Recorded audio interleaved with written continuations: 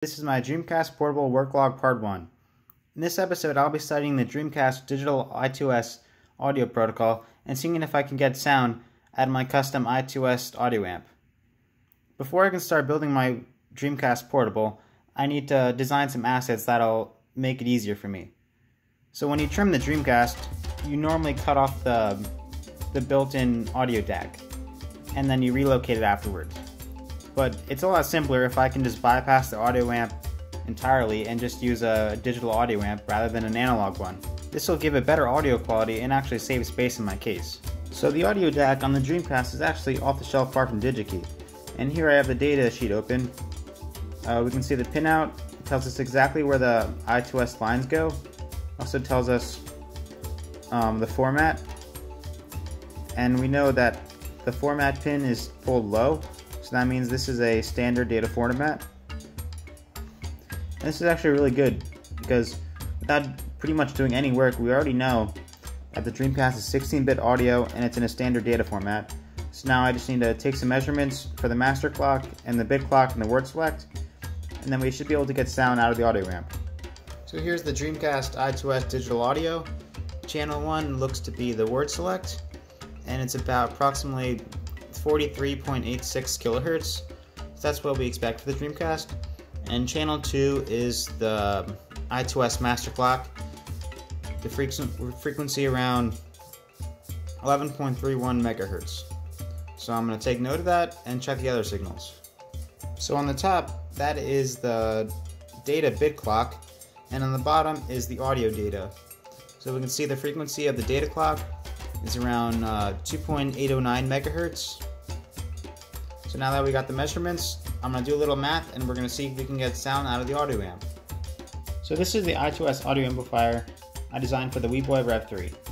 Rather than design a new PCB just for testing, I'm just to use this because I already have it.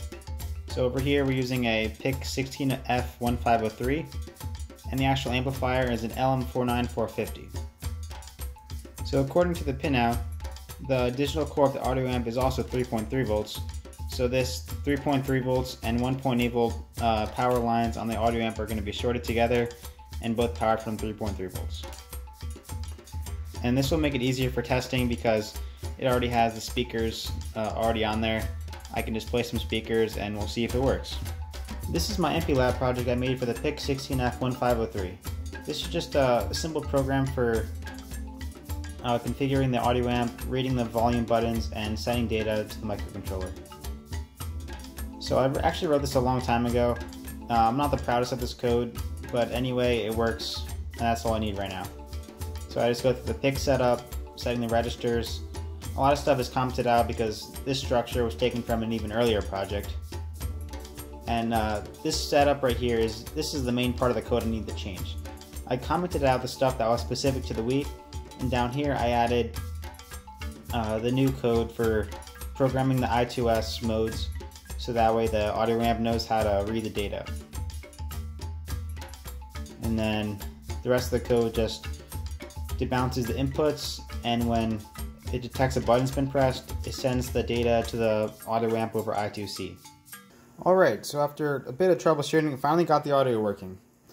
Uh, it wasn't working for a while, and that was because everything told me on the internet, the data sheet from the audio DAC, if you search Dreamcast digital audio. Everything tells you is 16 bits, but I was second guessing myself because uh, with a 44.1 kilohertz sampling rate and a 11.28 uh, megahertz master clock, that means there's the word size is 32 bits. So I had it at 32 bits because that makes sense.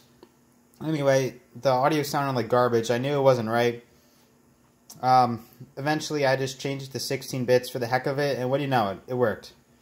So what this means is that half the audio being transmitted is just at zero. For because uh, it's 16 bits and the other 16 bits is zero. So the moral of the story is trust everything you read on the internet. I have a CD on there right now. I just have those tiny uh, speakers on there, so it doesn't sound that great. That wraps up episode one.